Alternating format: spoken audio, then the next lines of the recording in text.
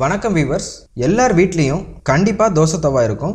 எந்த வகையான தோசைகள் பயன்படுத்துகிறோம் எந்த மெட்டீரியலான தோசைகள் பயன்படுத்துகிறோம் இன்றைக்கி மார்க்கெட்டில் பார்த்தீங்கன்னா silver Indalium aluminium nonstick iron அப்படின்னு எல்லா மெட்டீரியலுமே வந்து தோசைகள் இருக்குது நம்ம வீடுகளில் அதிகம் பயன்படுத்துறதுன்னு பார்த்தீங்கன்னா நான்ஸ்டிக் தோசை தவா அல்லது அயன் தோசை தவா. இன்னைக்கு இந்த வீடியோவில் நான்ஸ்டிக் தவா பயன்படுத்துறது நல்லதா கெட்டதா? எந்த வகையான தோசைகள் பயன்படுத்தினா உடலுக்கு நல்லது?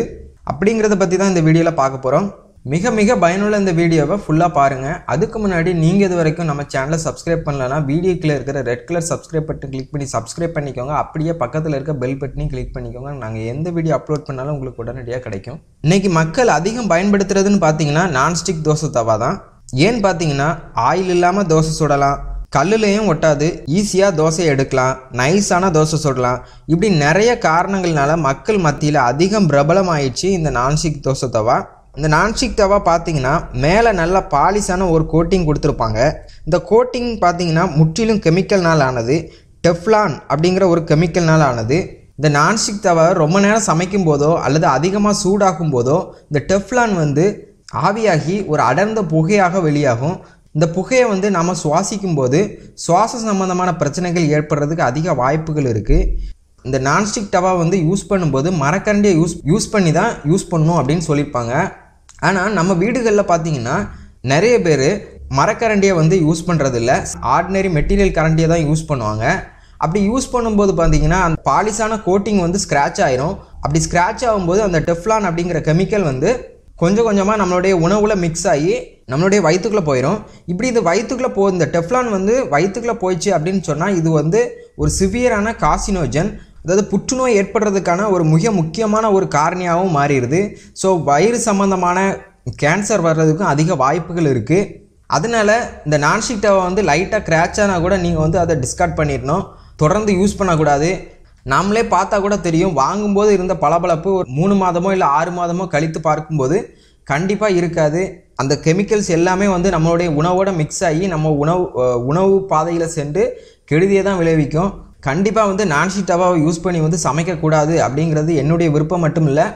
நிறைய ஹெல்த் டாக்டர்ஸ் ஆர்கனைசேஷனும் சொல்லக்கூடிய கருத்து அதுதான். இது தான் வந்து அமெரிக்காவில் இருக்கக்கூடிய பிரபல பல்கலைக்கழகம் கூட இதை வந்து நிரூபிச்சிருக்காங்க. இந்த டெஃப்லான்னால் கேன்சர் உருவாகிறதுக்கும் அதிக சான்சஸ் இருக்குது அப்படின்னு வந்து நிரூபிச்சிருக்காங்க. இந்த நான்ஸ்டிக் தோசை தவா மட்டும் இல்லாமல் நான்ஸ்டிக் சம்மந்தமான எந்த ஒரு எந்த ஒரு பாத்திரத்தையும் பயன்படுத்தாமல் இருக்கிறது மிகவும் நல்லது. அது மட்டும் இல்லாமல் இந்த நான்ஸ்டிக்கில் பிடிஎஃப்இ அப்படிங்கிற ஒரு நச்சுத்தன்மை வாய்ந்த ஒரு பொருள் இருக்குது. இது வந்து நேரடியாக வந்து கணையத்தை வந்து பாதிக்கக்கூடியது. கணையத்தில் இருக்கக்கூடிய பீட்டா செல்களை பாதித்து இன்சுலினை வந்து உற்பத்தியை வந்து தடுக்கும்.